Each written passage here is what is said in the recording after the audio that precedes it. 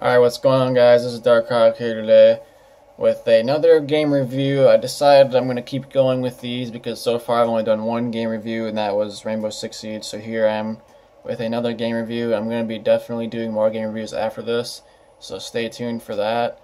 Um, because what made me decide to just keep going with this and wanting to do more game reviews is because I've noticed with my PS4 game collection video and my PS3 game collection video, those both those videos have way more views than any other video that I've done. So obviously that right there shows and tells me that you guys like to see videos where I like talk about games or just kind of show them off and stuff and review them in a way. So I'm going to be doing that. So expect to see more game review videos. But anyway, this game review is going to be Skyrim Special Edition for PS4.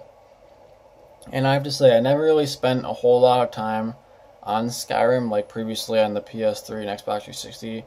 I never really got into it a whole lot. I played it for a few hours and that was about it. Like I'm not one of those people who has spent hundreds and hundreds of hours on it. I'm gonna be I'm gonna say that right now. That's just not me. You guys all kind of know me. I'm more of the first person shooter, you know, Call of Duty GTA player. That's kind of my main games. But lately I have been broadening my horizons and giving other games a try and trying more games because, you know, I've realized I kind of gotta, I've been kind of getting bored of just playing the same types of games, so I've been kind of trying out other types of games. But anyway, back to the review. So this is going to be Skyrim Remastered for the PS4. And I have to say, this is probably the best, one of the best open world games, probably one of the best games by Bethesda. Definitely better than Fallout 4 in my opinion, because I got bored of Fallout 4. I actually sold Fallout 4 a while back because I got bored of it. But one thing I can say, this game remastered, it's better graphics. I like how you can do, they added in mods now because originally you can only do that on PC, but now you can do it on game console, which is a big step up.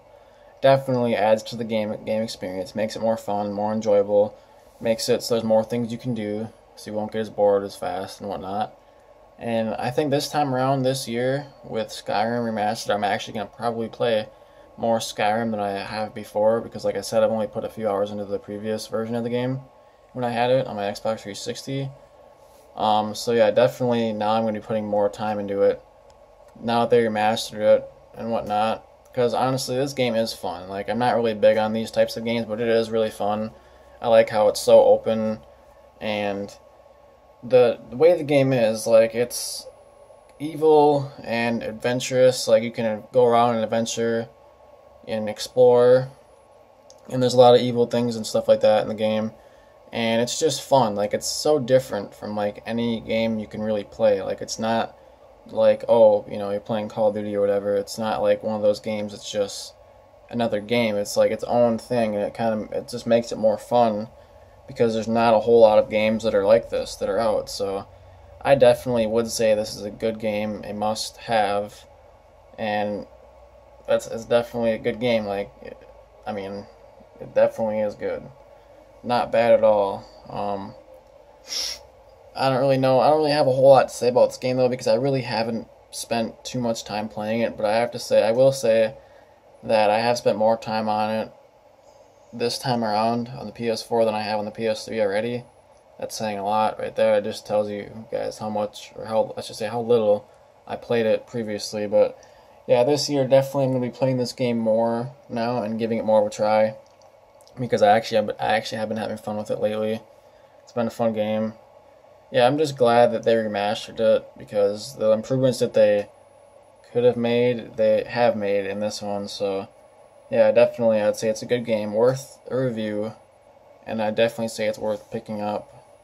Even if you're not a huge fan of open world games, I think you will like this game and just enjoy the different experience that this game has to offer. But anyway, there's not much else for me to say about this game, just because, like I said, I've not, I haven't really spent too many hours playing this game yet. So I'll probably talk about it more maybe in the future. But for now, that's my review of the game, and just that was just basically just a brief little talk through of it. So yeah, that's the end of the video. This is Darkhawk signing out. Peace out, everybody.